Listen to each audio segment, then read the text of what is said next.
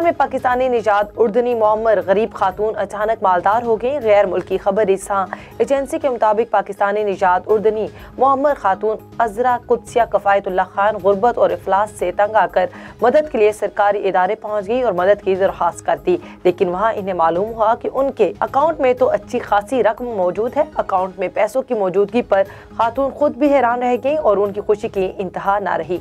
खातून अजरा, कुदसिया इल्म थी कि उनके अकाउंट में 2008 से पेंशन की रकम जमा हो रही है और अब उनके अकाउंट में खतीर रकम मौजूद है। दरख्वास्त जमा होने के बाद ये इंकशाफ हुआ कि साल 2008 से उनके अकाउंट में बाकायदगी के साथ हर माह पेंशन आ रही है और अब वो रकम इतनी ज़्यादा है कि वो इंतहाई अच्छी ज़िंदगी गुजार सकती हैं। हुकाम ने मोहम्मद खातून को बताया कि उनके अकाउंट में पैंतालीस हज़ार उर्दनी दिनार जमा है।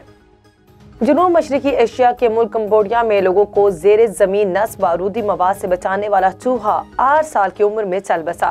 गैर मुल्की खबरिस्तान इदारे की रिपोर्ट के मुताबिक मागावा नामी चूहे ने कम्बोडिया में अपने कैरियर के दौरान उनतालीस बारूदी सुरंगे और अट्ठाईस बार बारूद का सुराख लगाया। अमरीका और बेल्जियम के गैर मुनाफा बख्श तंजीम की तारीख में पहली बार चूहे को गोल्ड मेडल से भी नवाजा गया था। रिपोर्ट्स के मुताबिक, तंजानिया में कायम बेल्जियम की एक तंजीम ने चूहे को बारूदी सुरंग को सूंघने की तरबियत दी थी।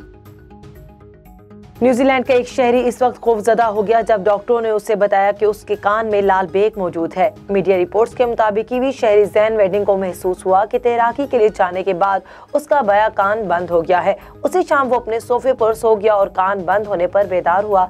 जैन ने कान में हलचल भी महसूस की, जैसे उसके कान में कोई चीज़ चल रही हो। दो रातें तकलीफ़ से बेदार रहने के बाद उसने माहिर डॉक्टर से मिलने के लिए कान के क्लिनिक रजू किया। कीवी शहरी ने बताया कि डॉक्टर ने कान में देखने के एक सेकंड के अंदर एक रिंगते कीड़े को पहचान लिया, लेकिन वो भी चौंक गई और यकीन ना कर सकी। उसके बाद डॉक्टर ने वेडिंग के कान से मुर्दा लाल बेग निकालने के लिए सेक्शन डिवाइस और चिमटी ली। उसे यादगार के तौर पर माहिर को दिखाया, क्योंकि उसने उससे पहले कान से कभी कोई कीड़ा नहीं निकाला था।